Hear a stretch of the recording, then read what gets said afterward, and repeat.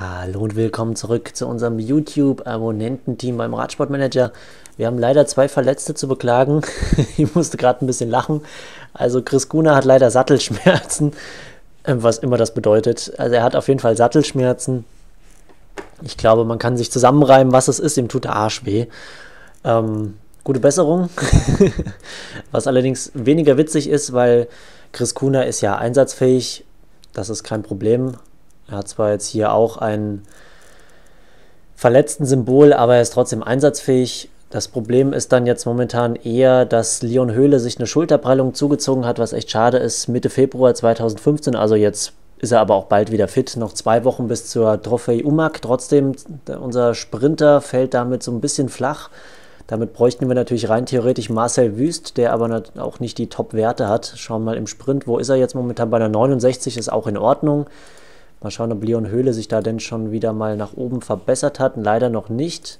Aber das wird bald noch kommen. Ich mache jetzt mal weiter. Wir haben nicht wirklich viel verpasst. Ein bisschen, zwei Wochen habe ich mal vorgearbeitet. So, jetzt sehen wir Gesundheitszustand von Chris Kuna. Hat wegen seiner anhaltenden Schmerzen beim Sitzen im Sattel einen Spezialisten aufgesucht. Er muss eine Woche pausieren, vielleicht auch weniger, wenn die Genesung zügig voranschreitet.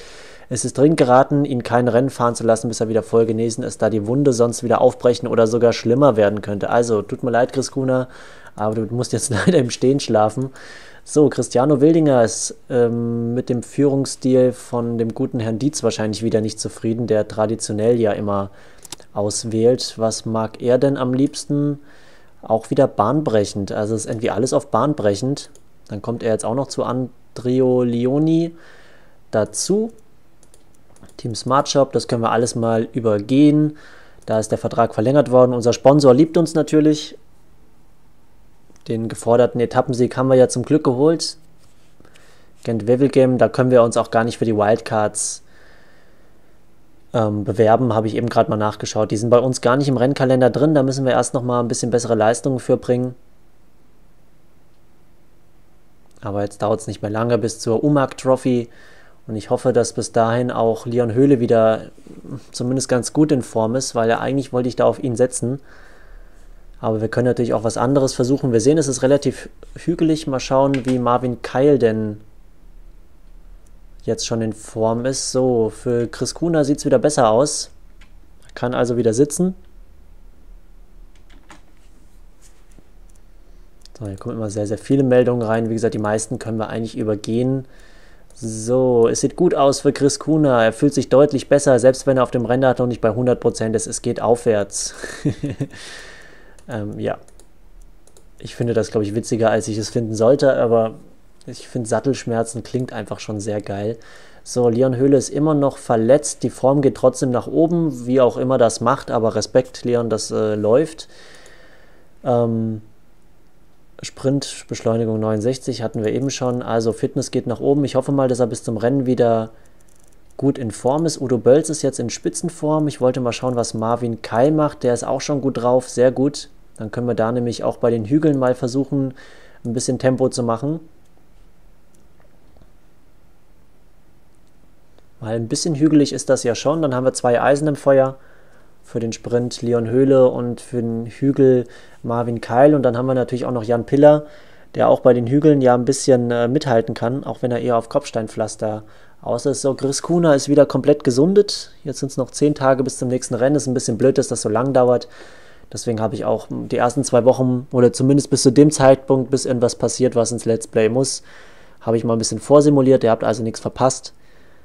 Und äh, das Training müssen wir nicht umstellen. Trainingslager machen wir sowieso keins, können wir uns auch gar nicht leisten. Da sehen wir jetzt noch mal ein paar Ergebnisse. Da können wir immer mal so ein bisschen drüber schauen, was denn so bei den Top-Fahrern läuft. Höhle ist wieder da, jawohl.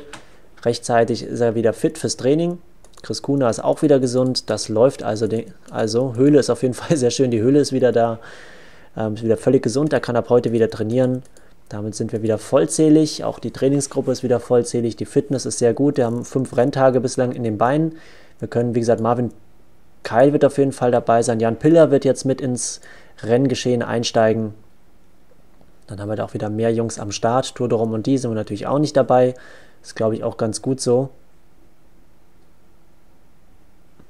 Hier sind also quasi die Vorbereitungsrennen. Da kann man Trainingslager noch buchen. Das ist für uns alles, wie gesagt, uninteressant, zumindest noch uninteressant.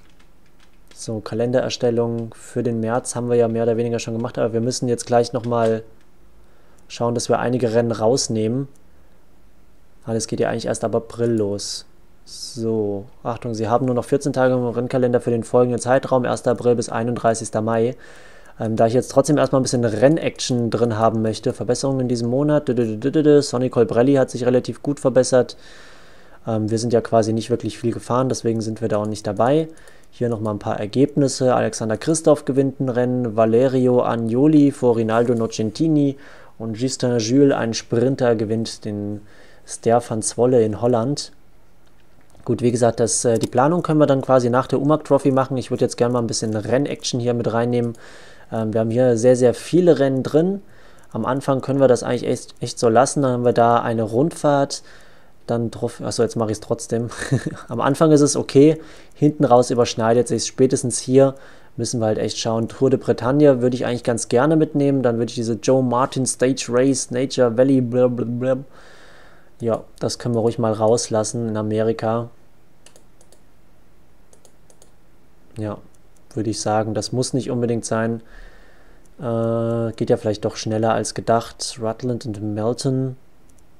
Das fällt aber auch hier genau in diesen Bereich rein, ist aber okay. Tour of the Gila, Gila, wie auch immer es ausgesprochen wird. Auf jeden Fall etwas hügelig. Zeitfahren, flach und nochmal etwas hügelig. Vielleicht was für Marvin Keil. Hm, rund um den Finanzplatz ist dann natürlich eher wieder was für unsere Sprinter. Ähm, Lüttich-Bastogne ist auf jeden Fall für Marvin Keil gedacht eigentlich. Deswegen ist das hier vielleicht eher ungünstig mit der Rundfahrt. So ein Grand Prix Moskau. Und hier haben wir natürlich dann einige Rundfahrten hintereinander. Die Tour de Berlin ist am wichtigsten. Da haben wir die Berliner Rund äh, die Berner Rundfahrt direkt noch parallel. Okay, die können wir nicht alle drei machen, dann nehmen wir die beiden nämlich noch raus. Dann kommt University of Lincoln Grand Prix. Ist jetzt auch nicht so geil. Mal schauen, wie das Profil ist. Da ist Kopfsteinpflaster dabei, oder? Gut, lassen wir mal drin. Was haben wir hier? Royal Smite, das ist wahrscheinlich wieder Teller flach. Kopfsteinpflaster! Ich sehe gar kein Kopfsteinpflaster eingezeichnet, wahrscheinlich kurz vor den Bergen jeweils. Ähm, das kann doch dann was für Jan Piller werden. Und Pascal Mottes, Circuit Wallonie. Na, hier ist natürlich eigentlich auch Kopfsteinpflaster dabei, aber immer nicht kurz vom Ziel. Das ist ein bisschen doof. Das sind natürlich sieben. Nee, komm, das nehmen wir auch raus. Das ist zu lang. Dafür haben wir ja dann unseren Höhepunkt, die Bayern-Rundfahrt. Ähm, die geht bis 17.05. Dann geht es hier am 17.05. schon wieder weiter. Das können wir gar nicht alles machen. Vuelta Castilla y León ist natürlich schon ein Rennen, was man kennt. Dann nehmen wir das mit raus. And Post-Race bis 25.05. Ronde Lizard würde ich natürlich eigentlich lieber fahren. Die können wir nicht, dann haben wir bis zum 19.05. was. Parallel, ja, dann machen wir die Ronde Lizard. Pearl Isomi-Tour müssen wir natürlich machen. Müssen wir dann schauen, wie wir unser Team aufteilen. Dann haben wir hier im mittleren Bereich natürlich eigentlich gar nicht so viel. So rund um Anfang Mai und nur noch der 11.05. Na, wir haben hier den 9.5. und 8.5. bis 12.5. Warum steht das da nicht drin? Naja, okay. Also U23, wurscht. Auf jeden Fall denke ich mal, kann man das dann so lassen. So, jetzt haben wir es doch gemacht, ein bisschen überarbeitet. Ähm, und dann machen wir mal weiter. Wollen ja, wie gesagt, auch ein bisschen Rennaction in der Folge haben. In diesem Bildschirm kann ich ruhig immer ein bisschen rumlabern. Ui, was ist denn mit Cristiano Wildinger los? So, müssen wir erst nochmal schauen. Ähm, nicht in Bestform, hat wegen seiner anhaltenden Kopfschmerzen seinen Hausarzt konsultiert. Es besteht kein Grund zur Sorge, er sollte sich nur zwei bis drei Tage nicht übermäßig verausgaben. Okay, ich glaube, der Formhöhepunkt von ihm, ähm, jetzt kommt der auch nicht mehr mit dem Trainingsstil zurecht, mit dem traditionellen. Sag mal, ist doch zum Brechen. Wenn er auch bahnbrechend ist, jawohl. Okay, Effektivität ist noch ausgezeichnet. Dann müssen wir vielleicht unseren Trainer mal entlassen. Aber erstmal müssen wir noch ein paar Erfolge feiern. Und das machen wir jetzt hoffentlich bei der UMAG Trophy. Chris Kuna lassen wir mal weg. Der hat ja Sattelschmerzen. Es tut mir leid, ich finde das immer noch zu lützig. Ähm, Pascal Mott ist natürlich in Topform. Der kommt auf jeden Fall mit. Genauso wie Jan Piller auf jeden Fall am Start sein wird. Da ist er auch schon. Ähm, am Hügel ist er ja relativ ordentlich. Kopfsteinpflaster hat er jetzt schon eine 70. Pascal Mottes hat sich da noch nicht verbessert, ist aber auch am Hügel sehr ordentlich. Ähm, wen haben wir denn noch? Leon Höhle muss auf jeden Fall mit für den Sprint. Jens Heppner hatten wir noch nicht dabei. Hans Volker kann dann wirklich mal daheim bleiben. Jörg Jaksche hatten wir auch noch nicht. Klöden nicht. Chris Kuhne, Hans Volker, Michael Wassmer, der ist sowieso beschissen in Form, der kann eh nichts. Äh, Jens Vogt können wir mal daheim lassen. Udo Bölz war eigentlich ziemlich gut in Form. Marcel Wüst bräuchten wir ja eigentlich auch noch als Sprintanfahrer. Wir können natürlich auch mal Steffen Wesemann mitnehmen, der aber jetzt auch nicht in super Form ist. Dann muss einer noch weichen. Ähm, dann bleibt eben Cristiano Wildinger daheim, weil er ist ja noch angeschlagen mit Kopfschmerzen. Da wird es noch bessere Rennen geben. So, sieht doch gut aus. Acht Fahrer haben wir dabei. So sieht die Etappe aus. Schauen wir uns gleich nochmal in Ruhe an. Das lassen wir mal so. Strategie gibt es keine, ist ein Eintagesrennen. Also die Strategie sieht trotzdem, denke ich mal, folgendermaßen aus, dass wir eigentlich zwei Eisen im Feuer haben. Wir haben einmal Marvin Keil, wo wir versuchen, beim, vielleicht am letzten kleinen Anstieg mal wegzufahren, einfach nur um es mal probiert zu haben. Ansonsten ist Marcel Wüst der Anfahrer für Leon Höhle und der Rest ist eigentlich alles Zuarbeiter. Pascal Mottes ist natürlich auch super in Form.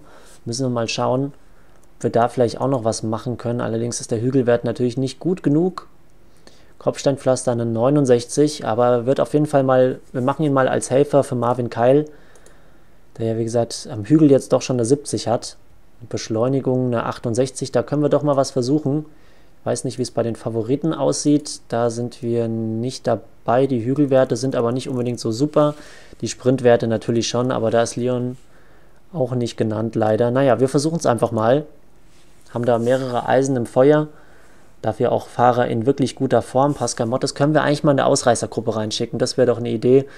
Ähm, das kennt er ja noch nicht. ich glaube, fast jeder Folge bislang in Ausreißergruppen gewesen, aber das Bergtrikot geholt. Was uns aber leider keine Punkte gebracht hat für die Saisonwertung, was ich ein bisschen schade finde, aber natürlich ein bisschen Geld. Hier ist Marvin Keil jetzt auch als erster aufgeführt, dann Jan Piller, Marcel Wüst. Und dann schauen wir mal, was wir hier für eine Strategie fahren. Wahrscheinlich relativ unruhige Anfangsphase.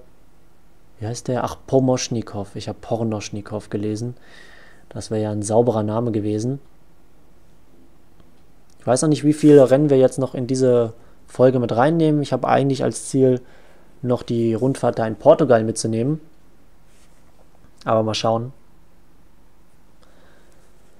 Ähm, momentan komme ich auch nicht so 100 Pro mit dem Hochladen dann hinterher, deswegen wird das äh, nur alle zwei Tage erscheinen. Also nicht wundern, Jan Ulrich kommt noch jeden Tag, da muss ich allerdings auch die Vuelta noch aufnehmen.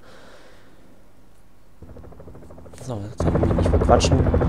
Ich weiß gar nicht, wo Ulle momentan unterwegs ist. Ich glaube, mitten in der Tour de France. So, Marvin Keil. Der wird jetzt... So, ich muss, glaube ich, doch erst nochmal auf Pause machen bevor die Jungs hier losfahren, weil wir ja doch ein bisschen komplizierter das Ganze haben. Marcel Wüst kümmert sich um Leon Höhle. Das ist wie gehabt. Jan Piller haben wir ja auch noch am Start. Ist natürlich jetzt auch kein super Ausreißer. Hm, dann kümmert der sich erstmal um Marvin Keil. Und Pascal Mottes, da er eben doch sehr, sehr gut in Form ist und es keine Kopfsteinpflasterrennen gibt. Das ist bei Jan Piller ja auch so, aber der kriegt dann auch noch seine Chance. Heute ist erst nochmal Pascal Mottes mit der Ausreißergruppe dran. Und dann schauen wir, dass wir Jan Piller auf jeden Fall ein andermal in die Ausreißergruppe reinkriegen. Also im Eintagesrennen gewinnen ja sowieso im seltensten Fall wirklich mal die Ausreißer. Und da sieht man ein kroatisches Team, würde ich mal sagen. Jawohl, ist auch ein kroatischer Fahrer. So, schön vorne bleiben, Junge einklemmen lassen, ansonsten verpasst er die Attacken, die da vorne natürlich auch schon losgehen. Aber ich glaube, wir können erst nochmal abwarten. Das Feld fährt hinterher. Na, oder auch nicht. Kisalowski ist aber nicht der Kisalowski. Nee.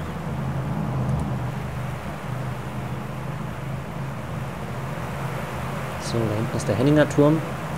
So, kommen wir jetzt aber mal hin. Bisschen merkwürdiger Rennverlauf gerade. Fahren wir einfach mal ein Stück vor. Schauen, was draußen wird. Nämlich gar nichts. So, da kommt Jan Piller. Der sich jetzt vor Marvin Keil geklemmt hat, der ja schon einen Hügelwert von 70 hat. Also wir probieren es einfach mal am letzten Hügel. So, Tempo kannst du jetzt mal rausnehmen, Entschuldigung. Brauchen wir natürlich nicht. So, da wieder dranhängen und versuchen mitzugehen. Wie gesagt, Jan Piller jetzt zum ersten Mal auch dabei. In guter Form. Normalerweise würden wir jetzt die Frühjahrsklassiker fahren. Schön übers Kopfsteinpflaster rödeln, aber leider sind wir da nirgendwo eingeladen worden. Das ist ein bisschen schade. So, und bislang kommt hier keine Gruppe wirklich weg.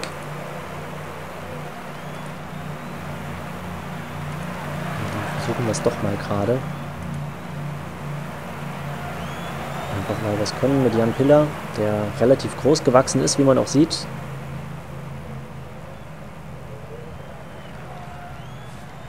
Schauen, ob er wegkommt. Na, das Feld fährt wieder hinterher.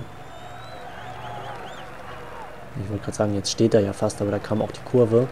Na, jetzt ist Tempo ein bisschen raus. Aber alleine jetzt hier langfahren, das, na gut, das wird auch nicht passieren. Pascal Mottes ist jetzt hier an die Spitze gefahren, allerdings kontrolliert er mehr oder weniger das Tempo. Dann hat es jetzt vielleicht doch Jan Piller geschafft auszureißen. Allerdings mit dem Wert wird er nicht durchkommen. Da müssen jetzt noch weitere Attacken folgen. Das Feld wird natürlich dadurch wahrscheinlich wieder schneller fahren. Und als Rattenschwanz oder besser gesagt die Ausreißer werden als Rattenschwanz das Feld mit hinterherziehen. Jetzt hat Marvin Keil natürlich keinen mehr, der ihn beschützt. Dann muss jetzt leider Pascal Mottes dran glauben, weil er den Ausreißversuch ja nicht geschafft hat. Selber schuld.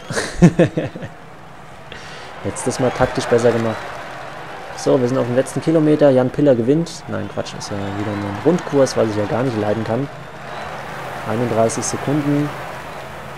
Hinten wird weiterhin versucht auszureißen. Natürlich jetzt ein bisschen das Tempo runtergedreht bei Jan Piller, der schön am Straßenrand fährt. Ein bisschen windgeschützter ist. Jetzt alleine zu fahren, naja. Das wird eher nichts und es gibt ja auch keine Bergwertung oder sonst irgendwas, was wir uns holen könnten. Uiuiuiuiui, der hat aber Schmackes drauf gehabt. ist gar nicht so einfach hier in die Gruppen reinzukommen. Schauen gerade mal, was Leon Höhle macht. Er fährt hier ziemlich im Feld. Ich finde unser Trikot ist ja immer noch saugeil. Also muss ich echt sagen, es gefällt mir richtig gut.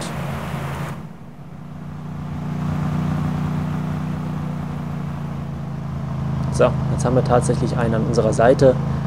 Und dann können wir jetzt zusammen ein bisschen rumrödeln. Ich finde auch gut, dass es jetzt Jan Piller geworden ist. Dann haben wir jetzt auch mal noch einen nächsten Abonnenten, der jetzt hier in einer guten Position ist. Ansonsten Marvin Keil haben wir ja heute auch quasi das erste Mal dabei. Der wird heute auch eine Hauptrolle spielen, je nachdem, wie das vorne mit Jan Piller jetzt auch läuft. Ähm, wenn der natürlich immer noch vorne ist, so kurz vorm Ziel, dann weiß ich nicht, ob wir die Attacke fahren, aber dann haben wir wenigstens ein bisschen Rhythmus für Marvin Keil. So, und jetzt können wir eigentlich ein bisschen schneller stellen. Pfeil zeigt leider nach unten. Ich denke mal, die Ausreißergruppe hat sich jetzt doch ein bisschen gefunden, hoffe ich mal. Jan Piller bleibt auch dran. Ja, das Feld fährt trotzdem noch schnell.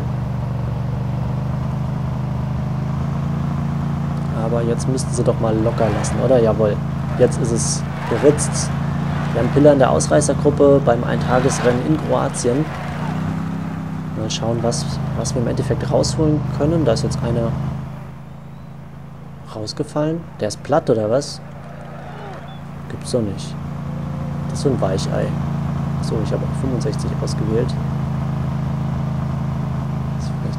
etwas schnell. 2 Minuten 19 der Vorsprung. Der gelbe Balken wird natürlich auch nicht mehr werden. Das Feld macht aber langsam. Da kommt Marvin Keil. Mal schauen. Hat keiner einen Pfeil nach oben. Das ist ja ein Traum. Natürlich der Rennrhythmus auch noch nicht besonders gut. Dann schauen wir weiter. Oh, nee, wir schauen nicht weiter nach vorne, sondern wen haben wir denn, der hier mehr oder weniger nutzlos rumfährt? Andi Klöden ist so einer. Dann muss man Wasser holen. Genauso Jan Piller kann sich vorne auch mal eine Flasche Wasser holen. Mir wäre es natürlich lieber, wenn der Junge da hinten dran auch wieder hinkäme. Ups. Aber der wird eh keine Tempoarbeit machen können.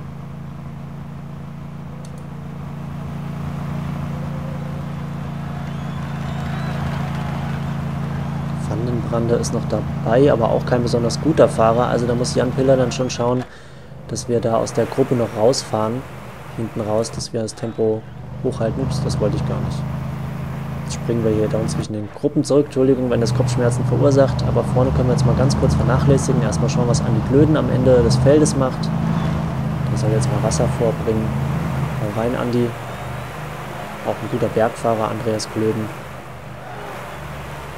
Aber vom Potenzial her nicht ganz so hoch eingetragen wie unsere anderen Fahrer. Jens Heppner hätte ich vielleicht auch schicken können. Jetzt kommt Glödi auch vor. Da sehen wir Tagesform minus 2 bei Jan Piller, nicht gut.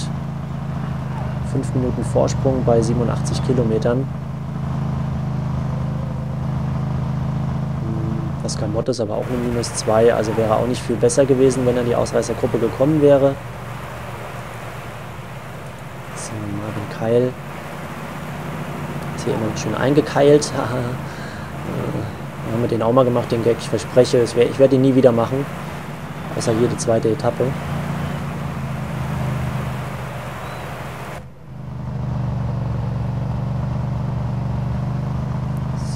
müssen wir natürlich, wir haben natürlich wieder viele Optionen. Haben Marvin Keil für den letzten Hügel, wie gesagt, wir haben Leon Höhle für den Sprint dann hinten raus, wobei die Tagesform minus 2 nicht optimal ist. Marcel Wüst ist eigentlich fast besser drauf heute.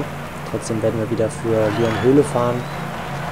Wie gesagt, dass unsere quasi generierten ehemaligen Fahrer wirklich nur Helfer sein werden. So, dann wird auch Jens Heppner jetzt mal zum Wasserträger degradiert. Pascal Mottes fährt immer noch vor Marvin Keil. Jan Piller kann sich auch nochmal eine Pulle holen. Äh, habe ich gerade Marvin Keil gesagt. Jan Piller kann sich auch nochmal eine Pulle holen.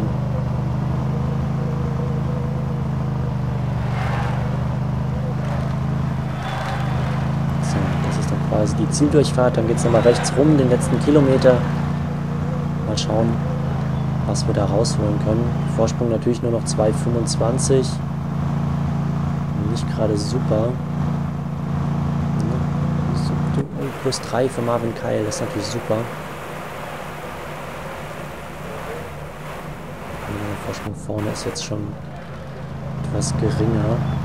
33,3 Kilometer kommen. die Explosivität.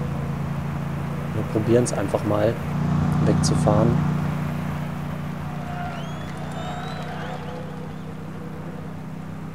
Fahren wir mit der 70 durch. Mal schauen, ob die nochmal rankommen. Na, die fahren hier schon ordentlich rein. Sind nochmal rangekommen, aber ein Piller, komm schon, zieh. Okay, jetzt sind sie wieder ran. Dann fahren wir wieder weg. Das ist ja ganz einfach. 28 Kilometer. So, aufkommen. Sie, Bakirci versucht's wieder. Okay, dann fahren wir halt noch ein bisschen zusammen weiter. Aber ein bisschen schneller. Na, jetzt könnte er sich verausgabt haben. So, wir müssen aber auch hinten weiter schauen. Immer ein bisschen schwierig. McNally.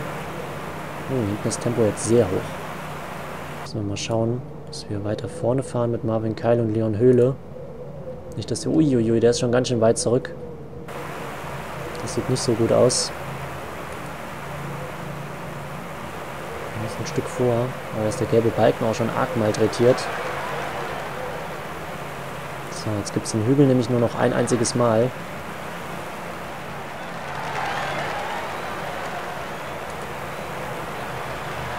das wird schwierig im Sprint werden, aber Marvin Keil haben wir ja auch noch. Mal schauen, da hat natürlich, ja, einen Plus 1 Tag hat er jetzt im Endeffekt, in Anführungszeichen nur. Ein Pillar vorne, macht Tempo. Aber die holen die. Eine Minute 10 noch, 19,7 Kilometer. Nehmen Energiegel. Jetzt geht es dann gleich in den letzten Anstieg rein, also diesen kleinen Anstieg. Der wird jetzt vorne attackiert. Hm, aber noch zu früh, glaube ich.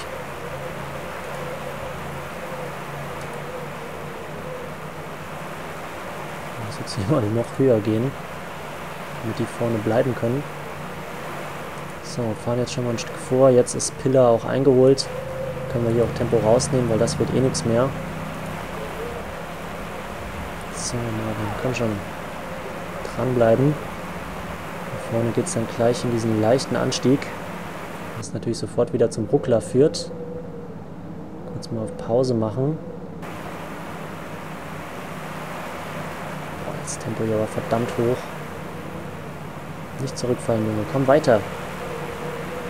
Lass dich da nicht irgendwie wegdrängen. Leon Höhle, boah, nee, das wird nichts mit Leon. Dafür ist das Tempo jetzt auch am Hügel zu hoch.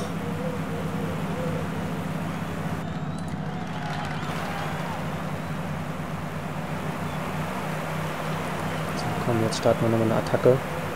Ist ja nicht mehr lang. Ist natürlich nur ein kleiner Hügel, aber da haben wir eine kleine Lücke gerissen, vor allem ist das Tempo gerade hinten raus.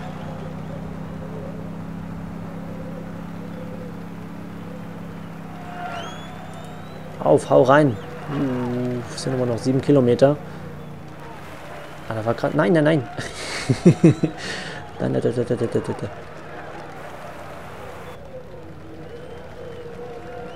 Naja, gut. Äh... Ich habe keine Ahnung, was ich gerade machen soll. Ich will aber nicht hinterherfahren. Aber Marvin Kyle gewinnt das. Aber soll ich jetzt hier hinterherfahren? Nein, das macht man nicht. Wir fahren nicht hinterher schauen jetzt einfach mal, dass wir uns hier vorne mit dranhängen. Na gut, Leon Höhle ist eh durch, mehr oder weniger. Das wird eh nichts. Marcel Wüst ist mir persönlich egal. Wir schauen jetzt mit Marvin Kai. Es sind noch 5,9 Kilometer.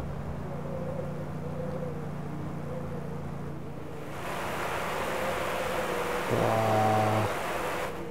Zieh durch, Junge. Komm schon, da vorne geht's nochmal bergab. Boah, der rote Balken ist aber eigentlich schon ziemlich weg. Muss runtergehen. Oh nein, der bricht ein. Aber der Vorsprung sollte eigentlich groß genug sein. Auch zum Einbrechen. Oh nein, jetzt kommt wieder diese Mega-Zeitlupe. Ich hasse das, wenn der Fahrer einbricht und es Mega-Zeitlupe ist. Komm schon, Junge, zieh! 1,5 Kilometer, 1,4, 1,3. Jetzt ist er durch. Aber die kommen jetzt gerade erst rum. Natürlich kommen jetzt die Sprinter. Hat 600 Meter Vorsprung. Das darfst du dir nicht mehr nehmen lassen, Junge. Zieh das durch, verdammt nochmal. Komm schon, komm schon, komm schon, komm schon. Das muss reichen. Und wir gewinnen. Mit der Attacke am Berg, Marvin Keil holt uns den Sieg.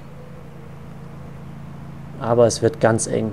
Oder es wurde ganz eng hinten raus. Leon Höhle und so weiter haben wir jetzt mal vernachlässigt mit der Platzierung. Aber er war eh platt und damit Sieg für Gerold Steiner, Sieg für Marvin Keil. Super. Da haben wir genau die Situation ausgenutzt und da freut sich auch im Team, das finde ich auch cool, passt ja zu unserem YouTube-Abo-Team, wo jedem der Sieg gegönnt wird, hoffe ich doch. Da haben wir quasi den nächsten Sieger. Nach Chris Kuna haben wir jetzt Marvin Keil, Leon Höhle haben wir ja schon häufig auf dem Podest gehabt. Ähm, Jan Piller war in der Ausreißergruppe, haben wir alles versucht, war eigentlich auch ganz cool. Ähm, andere Ambitionen gab es halt jetzt, wie gesagt, nicht wegen der Kopfsteinpflaster oder wegen der fehlenden Kopfsteinpflaster-Etappen. Hoffe, dass da niemand sauer ist, aber ich kann es ja leider nicht ändern. Ich habe versucht, in jedes Rennen reinzukommen, aber leider hat es nicht geklappt. Aber saugeiler Rennverlauf, muss man ja echt sagen. Spannender geht's nicht. Einen in der Ausreißergruppe gehabt. Leon Höhle ist dann kurzfristig hinterhergefahren, hat sich ein bisschen kaputt gefahren. Aber gut, dass wir auf Marvin Keil noch gesetzt haben. Auch wenn ich da das Tempo vielleicht etwas hoch gewählt habe, aber Attacke im richtigen Moment am Hügel, super. Schauen wir uns die Siegerehrung an. Damit der zweite Sieg für das Team Gerold Steiner vor Barbier und Avrin sehen wir auch diese muskulösen Arme von Marvin Keil, ein Traum. Ganz euphorisch. Teamwertung gewinnen wir ebenfalls. Sensationell. Trophäe Umak, Keil gewinnt den Sprint. Da sehen wir es. Super, gibt bestimmt auch noch ordentlich Geld für unser Team. Cristiano Wildinger kriegen wir auch noch hin und das läuft doch super. Bin sehr zufrieden bislang. Ich glaube, war gut, dass wir da eben auch äh, zwei beziehungsweise ja dreigleisig gefahren sind mit Ausreißergruppe, Sprinter und eben noch mit einem Hügelfahrer. Und Marvin Keiler hat das super gemacht, hat ein bisschen Glück gehabt auch, dass genau in dem Moment das Tempo raus war und keiner hinterhergefahren ist. Da sehen wir jetzt Marvin Kai mit 40 Punkten direkt mal auf Platz 19 vorgesprungen, Leon Höhle auf Platz 41, Chris Kuna 48. Ich glaube, ansonsten hat leider noch keiner Punkte. Im Team sind wir damit jetzt auf Platz 12 mit 81 Punkten. Und das ist ja quasi auch unseres 168 Punkte. Aber das läuft doch richtig gut. Damit haben wir das nächste Ziel erfüllt für unseren Sponsoren. Die können sehr glücklich sein. So, das waren die falschen Ziele. So, da haben wir es. Müssen wir erst noch wahrscheinlich einen Tag weiterspielen, damit das hier reingerechnet wird. Cristiano Wildinger ist auch wieder gesund und wir kriegen Preisgeld 1250 Euro für den Sieg. Das ist super, weil wir sind, wie gesagt, relativ eng getaktet hier. Antrittsbonus, Personalkosten, aber die sind hier ja schon mit eingerechnet. Also da sehen wir, was wir positiv bekommen haben. Sponsor Engagement, jeden Monat 37.500. Die Rennprämien läppern sich jetzt auch und das nächste Rennen ist auch schon direkt ähm, Grand Prix de la Vie de Nogent-sur-Oise. Aha, natürlich. Ich dachte, da wäre...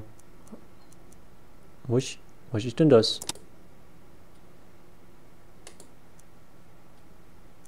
Trophäe Umag. Ich sehe dieses Rennen hier gar nicht. Muss ich ja gestehen. Bin ich blöd? Kann ich hier irgendwo noch umschalten und dann sind da noch andere Rennen? Nee, oder? Hm, okay, nee, okay, das wird simuliert. Gut, damit kann ich leben. Weil das da unten gerade für uns als nächstes Rennen stand. So, da ich jetzt komplett euphorisch bin, die Ergebnisse, ja, super spannend. Ähm, irgendein Schweizer gewinnt wahrscheinlich hier. Ganz genau. Thierry Schier vom BMC-Team. Und wie gesagt, das läuft doch super. Schauen wir uns mal das Profil an. Hier ist eigentlich wieder was für Marvin Keil. Ähm, da ist wieder leicht hügelig. Berge der dritten Kategorie. Da schicken wir vielleicht wieder eine die Ausreißergruppe mit. Können wir mal schauen. Das ist doch jetzt auch wieder was für Jan Piller, ähm, der ja in super Form ist. Dann simulieren wir uns mal direkt dorthin und fahren diese kleine Rundfahrt noch. Das sind zwei Etappen, die relativ schnell gehen werden würde ich mal sagen. Tour de Langkawi kommt natürlich noch. Cristiano Wildinger lassen wir noch mal raus, weil er halt immer noch eine, ach jetzt hat er eine leichte Erkältung noch. Ähm, so viel zum Thema Kopfschmerzen. Michael Wassmer, Chris Kuna sind erstmal raus, genauso wie Jens Vogt. Die Form ist einfach zu schlecht. Pascal Mottes muss auf jeden Fall mit. Wir müssen ja die Form auch ausnutzen. Marvin Keil ist jetzt leider die Fitness ein bisschen runtergegangen. Weiß gar nicht mehr ganz genau, wo wir da den Höhepunkt haben. Schauen wir gerade nochmal. Hm, Marvin Keil. Ah, okay, er kommt jetzt also erst im April dann so richtig in Topform. Ist jetzt hier gerade in diesem kleinen Loch drin, wo es gelb ist. Aber danach geht es dann in die richtige Superform. Dann haben wir nämlich im Mai und Juni, gerade bei der Bayern-Rundfahrt und so weiter, ist er dann richtig gut dabei. Dann würde ich sagen, mit dem Sieg schonen wir ihn mal. Ich glaube, dass er damit einverstanden ist, wenn er einmal in einer Folge schon gewinnt. Müssen wir mal schauen. Steffen Wesemann ist auch noch nicht so richtig gut drauf. Leon Höhle nehmen wir mal mit. Marcel Wüst halt eigentlich auch wieder. Dann haben wir allerdings niemand für, den, für die Hügeletappe. Hm, naja, Jan Piller ist ja eigentlich auch ganz ordentlich. Wie gesagt, Cristiano Wildinger jetzt bislang leider gar nicht dabei, aber auch ein bisschen vom Pech verfolgt. Aber auch da ist die Leistungskurve doch eher eine andere. Hm, wo ist er, wo ist er, wo ist er? Ganz unten. Ähm, gut, er sollte jetzt relativ passabel in Form sein, was jetzt halt nicht ist durch Verletzung, aber da kommt erst im Mai, Juni, kommt da die super Form. Das ist ja auch Tour of Queen High Lake, so dann in diesem Bereich, obwohl er da eigentlich schon relativ schlecht wieder in Form ist. Naja, aber das hier ist auf jeden Fall der Bereich der Bayern-Rundfahrt. Und da gibt es ja auch Bergankünfte, dann gibt es auch noch den die Tour de Berlin. Also da wird sich schon was finden. So, dann gehen wir nämlich jetzt weiter. Sieben Fahrer sind eingeschrieben, alle gut in Form. Udo Bölz hatten wir jetzt noch gar nicht dabei. Jörg Jaksche, dann lassen wir Andi Klöden mal raus. Und dem, oder hatten wir Udo Bölz schon dabei? Bin mir gerade unsicher. Ach komm, lassen wir Andi Klöden dabei, den habe ich eh immer gemocht. Ähm, Jens Heppner, ja, eher so einer, der immer unterm Radar lief. Und dann haben wir doch unser Team, Pascal Mottes, denke ich mal, wieder fürs Bergtrikot, fürs Ausreißen. Obwohl er da gar nicht den super Ausreißerwert hat, aber es bietet sich halt irgendwie an. Ähm, Jan Piller ebenfalls, Kopfsteinpflaster, wie gesagt, schon eine 70. Können wir auch mal schauen, ob wir, also die beiden sind wieder für die Ausreißergruppe prädestiniert. Marcel Wüst, Leon Höhle fürs Sprinten. Und Hans Volker ist vielleicht einer, mit dem wir, naja, bei der Hügeletappe mal was versuchen können. Ich glaube aber fast nicht, weil so viel gibt es hier nicht zum Rausholen. Also erste Etappe komplett auf Sprint. Da wird, denke ich mal, auch dann machen wir einfach, genau, machen wir es einfach mal so. Erste Etappe fahren wir komplett für Leon Höhle und Marcel Wüst. Da machen wir nämlich jetzt auch mal Jörg Jaksche, Klöden, Hans Volker machen wir einfach mal vorne dran als Teamhelfer, dass wir ein bisschen Tempo machen, dass das Feld auch zusammen bleibt, zumindest im letzten Bereich. Dann fahren wir. Oh, Marcel Wüst ist hier bei den Favoriten genannt. Vielleicht sollte Leon Höhle mal für Marcel Wüst fahren. Schauen wir mal. Ähm, wir machen es jetzt auch ein bisschen von der Tagesform abhängig. Wir machen natürlich erstmal, Leon Höhle wird beschützt von Marcel Wüst, weil sonst wäre es ja auch blöd. Feld ist relativ klein. Der Himmel ist komisch blau. Achso, das war das Shimano-Ding. sah ein bisschen komisch aus. So,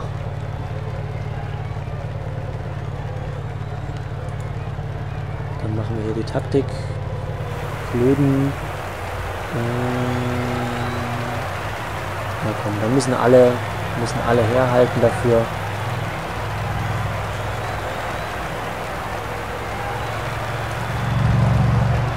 Heute alles Leon Höhle.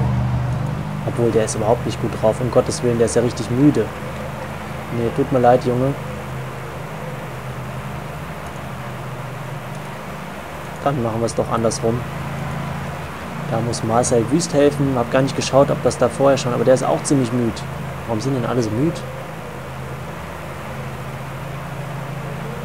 Ja, das kann ja was werden. Nämlich gar nichts mit den beiden. Gar nicht drauf geschaut, wie das mit der Ermüdung ist. Verdammt.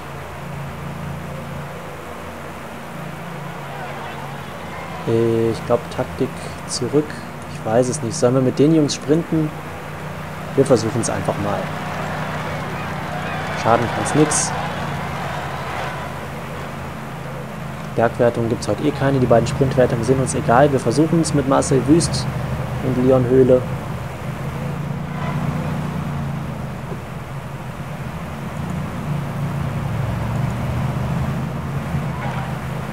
Mal schauen, wie weit wir kommen. Wobei die Pulswerte jetzt von Leon Höhle eigentlich ziemlich deutlich besser sind. Wir machen es wieder andersrum. So, jetzt haben wir die Taktik auch sensationell ausgeklügelt, auch wenn es kompletter Schwachsinn war, aber was soll's. Tempo ist immer noch nicht besonders niedrig, weil immer noch kein Ausreißer gefunden wurde. Georg, wir machen Tempo mit 60, also bitte, das ist jetzt kein horrendes Tempo.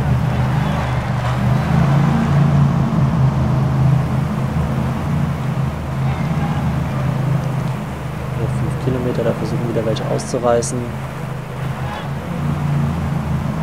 kommt aber irgendwie keiner raus, nur weil wir mit 60 Tempo machen. Ist ja auch irgendwie Quatsch.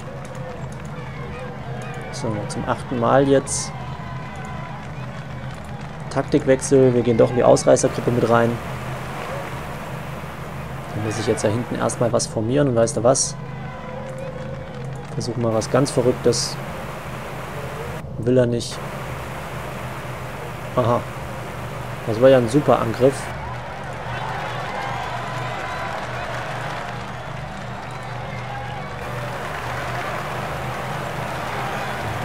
jetzt nicht folgen, doch jetzt.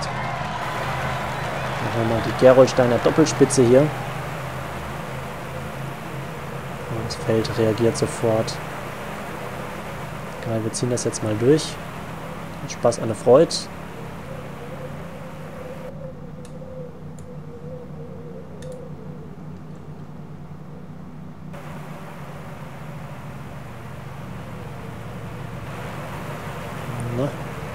Feld kommt. Aber jetzt auch nicht, würde ich würde jetzt auch nicht sagen, unaufhaltsam näher. So, Mottes und Pillar vorne dabei, aber das hat jetzt auch eher suboptimal funktioniert. Dann lassen wir mal beide markiert, dann können wir immer auch reagieren, wenn jetzt gleich wieder einer attackiert. Hm, 93 Kilometer, immer noch keine ausgerissen.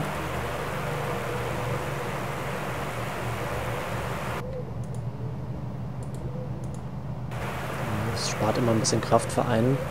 Eben hatten wir es andersrum, jetzt folgt mal Mottes zum Pillar. Mal schauen, ob das Feld wieder reagiert. Jawohl. Schon witzig.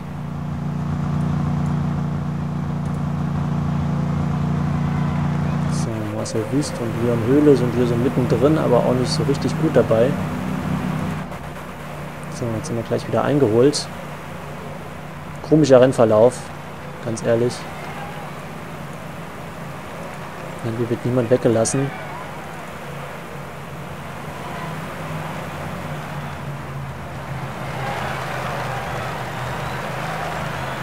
Naja gut, dann fahren wir hier erstmal so Informationen rum. Wenn keiner will, dann lassen wir es halt. Es gibt eigentlich ganz selten mal Rennverläufe, wo überhaupt keine Ausreißergruppe weggeht. So, dann brauchen wir jetzt natürlich noch mal ein bisschen Wasser. Das. Die Höhle fährt hier mitten im Feld, aber da kann er jetzt auch mal ein Stück vorfahren wahrscheinlich heute eh nichts mit dem Etappensieg.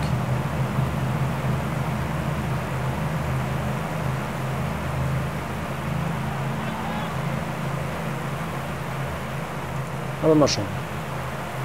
Vielleicht wird es ja ein toller Tag. Der Pfeil zeigt allerdings nach unten.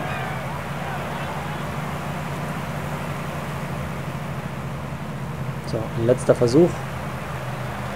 Und wir wollen uns gar nicht rauslassen.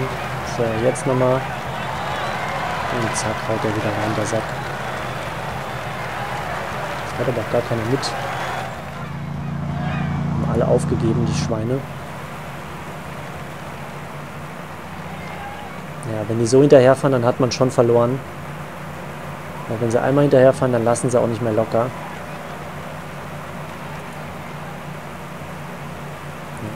Wird leider nichts. Aber wenn du gerade vorne bist, kannst du dir ein Wasser holen. Hat immerhin etwas Gutes. Jo, das wird einen Sprint geben. Würde ich mal so vermuten. Mit Leon Höhle, wo der Pfeil jetzt nach oben geht. Eine Plus 1 immerhin.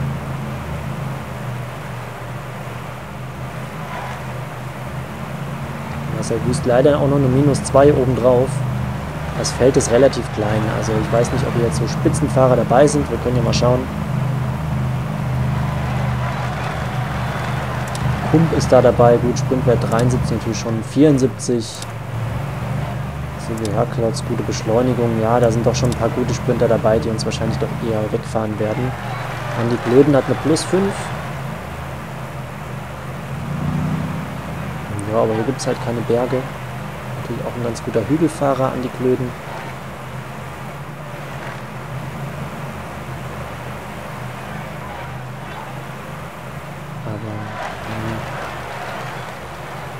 wir da jetzt unbedingt nochmal was machen müssen.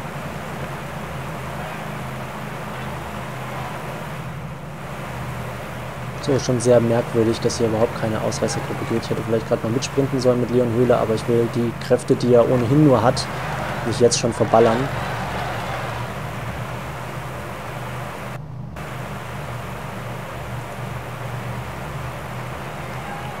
Wir probieren es einfach mal.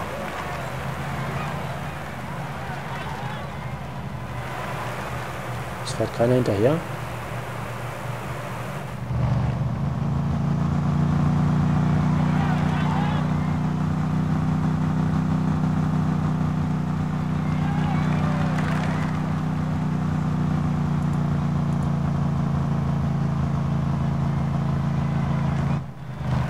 So, anderthalb Minuten und es fährt immer noch keiner.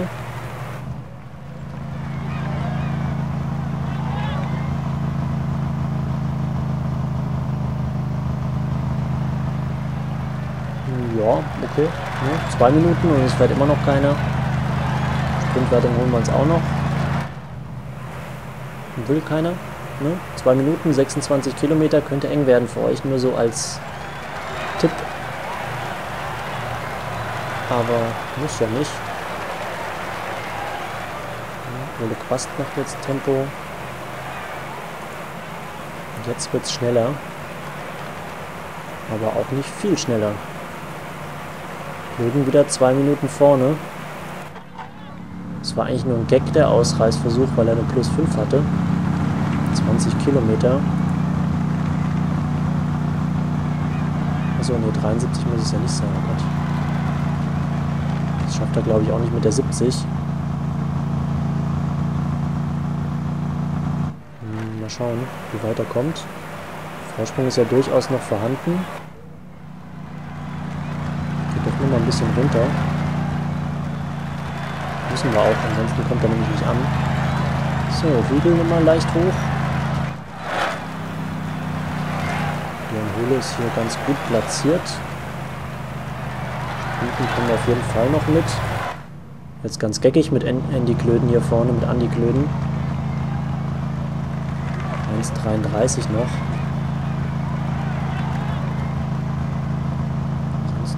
Pascal Mottes, Jan Piller haben es ja wie gesagt heute leider nicht geschafft. Es gab aber auch keine Ausreißergruppe.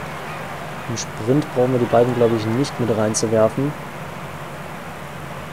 Auch ein bisschen schwierig, dann mehrere Fahrer da zu steuern. So, Klödi. Da vorne ist die 10 Kilometer Marke. Geht mal wieder auf 70 hoch. Ist immer noch eine Minute 12 Vorsprung. Und Energie ist noch vorhanden. Tempo ist nicht mörderisch hoch hier hinten.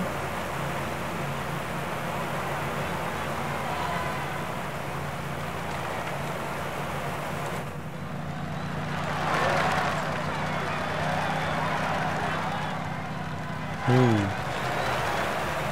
Ja, das wird, glaube ich, knapp nicht reichen. Wird jetzt doch sehr, sehr schnell gefahren.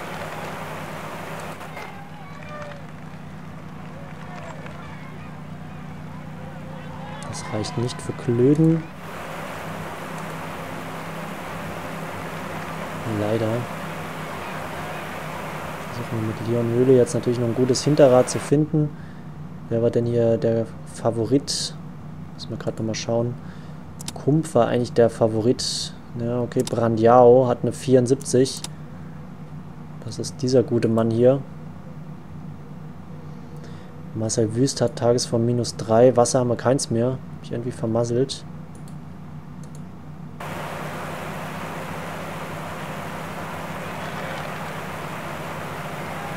Dann komm schon, fahr vor. Boah. So, Klödi ist durch. Natürlich rechtzeitig zum Finale. Ruckelt's wieder. Hm. Jetzt schon in den Wind gehen ist zu früh. Aber gleich können wir. Müssen wir auch. Ja, wir sind viel zu weit hinten, um da noch nach vorne zu kommen. Blöden Kilometer vorm Ziel eingeholt. Leon Höhle ist da hinten eingeklemmt. Das wird nichts für uns werden. Er ist aber auch nicht gut genug drauf. Er sprintet auch gar nicht wirklich. Er ist komplett eingeklemmt jetzt, Leon Höhle. Da geht gar nichts. Wir hätten, na, Kump gewinnt. Also der Top-Favorit gewinnt auch. Aber da ging nichts für Leon Höhle. Der hier hinten rumrödelt, muss man ja echt sagen. Er kommt da nicht wirklich aus dem Pushen. Der grüne Balken natürlich von vornherein schon ordentlich verbraucht gewesen. So, das war jetzt nicht so sensationell. Das erste Mal, glaube ich, dass wir keinen unter die Top 10 bekommen haben. Andi Klöden mit einem super Ausreißversuch. Aber gereicht hat es leider nicht. Tabellenstand haben wir eben gesehen, Gesamtwertung. Da stimmt, weil Klöden da auch äh, Zeitbonifikation unterwegs bekommen hat. Deswegen die 10 Sekunden Zeitbonifikation für den Sieger und die 3 Sekunden abgezogen. 7 Sekunden für Klöden, der in der Nachwuchsfahrerwertung auf Platz 2 ist. Ja, Platz 3 ist mit 2 Sekunden. Teamwertung sind wir auf Platz 9. Und das hat leider nicht gereicht heute. Das wird auch morgen nicht reichen. Aber jetzt gibt es ja wieder schön Bergwertungen, da können wir wieder in die Ausreißergruppe gehen. Ich würde aber sagen, da die Folge sonst doch deutlich zu lang wird, machen wir das dann wirklich erst in der nächsten Folge vom YouTube-Abonnententeam. Ich finde es, wie gesagt, sehr, sehr cool. Wir haben die UMAG Trophy gewonnen mit Marvin Keil, damit dem nächsten Sieger auch aus dem Team, ähm, aus dem, aus dem Abonnententeam quasi gehabt, von den richtigen Abonnenten freue mich sehr darüber und ich denke mal, dass es doch eine sehr erfolgreiche Saison werden kann. Wir haben jetzt, wie gesagt, schon zwei Siege gefeiert und vielleicht können wir ja jetzt bei der zweiten Etappe von Grande Premio Internacional du Guadiana nochmal einen kleinen Erfolg feiern. Zumindest das Bergtrikot ist, denke, denke ich mal, definitiv schon wieder drin. Müssen schauen, wie wir die Fahrer in die Ausreißergruppe reinbringen. Ich denke mal, es wird alles wieder auf Pascal Mottes oder eben Jan Piller hinauslaufen. Sprint dann wieder Leon Höhle. Ähm, schauen wir mal. Hans Volker können wir dann sicherlich auch mal bei eher bergigem Terrain demnächst verwenden. Aber ich denke, bislang macht es doch richtig Spaß. Ich freue mich, dass ihr dabei seid und dann sehen wir uns beim nächsten Mal wieder. Wahrscheinlich übermorgen, wenn die nächste Folge erscheint. Bis dann.